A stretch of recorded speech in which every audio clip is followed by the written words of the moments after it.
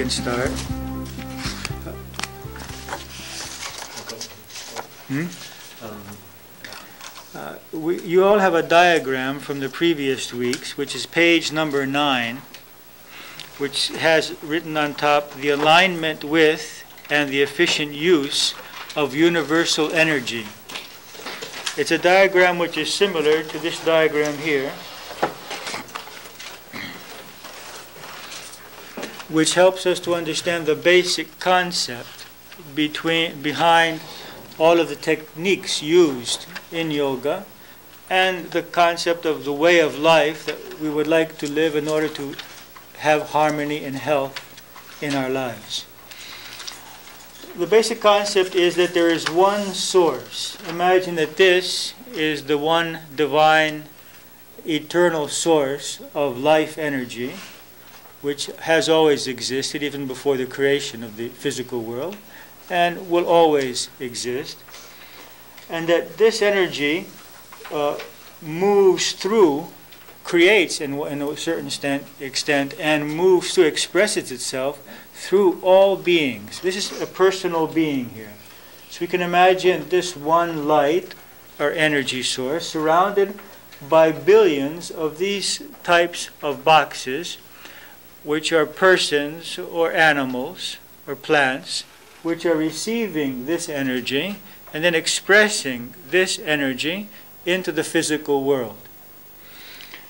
Now, there is an aperture through which we receive this energy. We'll talk about that later. There are holes through which that energy flows off into other directions. There are certain blockages within our energy system which trap that energy and don't allow it to flow freely. And finally, there is the amount of energy which flows towards our life purpose. That each person, each incarnated being, has a life purpose. The amount of the energy of that being which is flowing towards that life purpose is limited. It's not all the energy that we're receiving. A great amount of energy is lost in various directions which do not give us much happiness or health or satisfaction in our lives. And a great deal of energy is absorbed and blocked within the system and not allowed to flow freely. So let's discuss what those uh, wastages of energies, those losses of energies are, and what those blockages might be. They're written on your paper that you have there. Uh, we see that one source of loss of energy is overeating.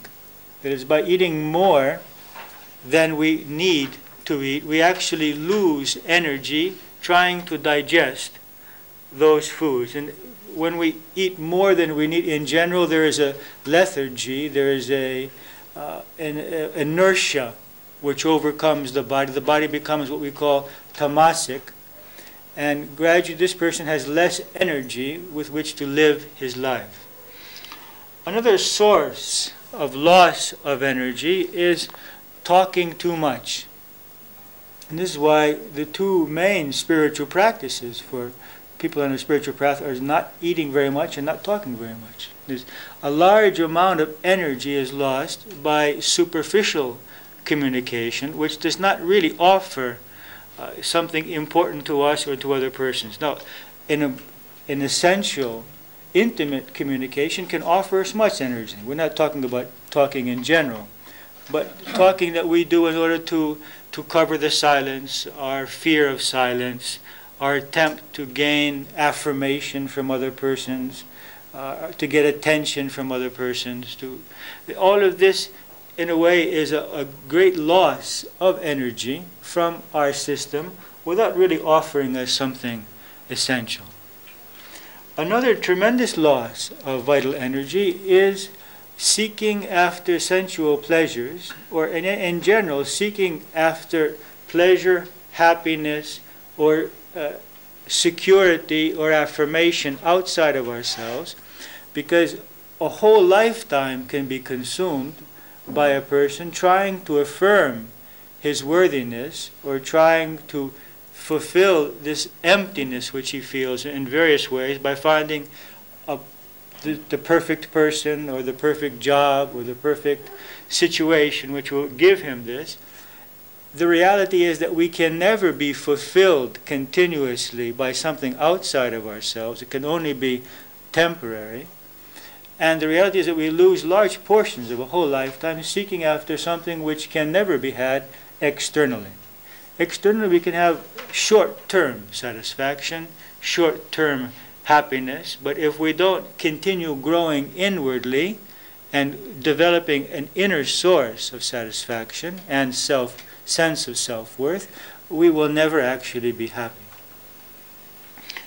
The fourth main cause of loss of energy is worry and fear, anxiety, in which the mind loses tremendous portions of energy, fearing that we will lose something, fearing that we will not obtain something, feeling danger, anxiety, and uh, this is very exhausting, uh, emotionally exhausting for the mind and for the body. So we have four uh, large uh, apertures through which much bioenergy is lost, too much eating, too much talking, too much worrying and anxiety, and too much seeking outside of ourselves for security, for affirmation, for satisfaction, and very little energy then is left to go towards the purpose of our incarnation, the purpose for which we, as spirit, have created this physical body. Each person has incarnated for a specific person, purpose. Each person purpose may differ in detail, but the main causes of incarnation are the desire for spiritual growth, the desire to learn, and the desire to serve, to create. I mean, if there are three purposes in life for me anyway, it's evolution, it's creation, and it's offering, it's serving others. Of course, this can be done in, in millions of different ways.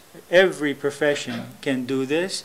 It's just that if the person who is doing it feels and approaches it in this way, one can teach children this way, and one can teach children mechanically. One can farm in this way, one can build buildings in this way, one can raise a family in this way, or one can do all of this without feeling anything and not really putting himself into that